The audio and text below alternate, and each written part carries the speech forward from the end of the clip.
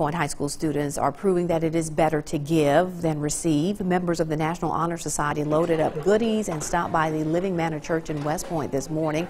The students collected over 500 cans of food to donate to the church. Living Manna operates a food pantry for lower income and elderly residents there in West Point and Clay County. For the students, it was a chance to impact the community.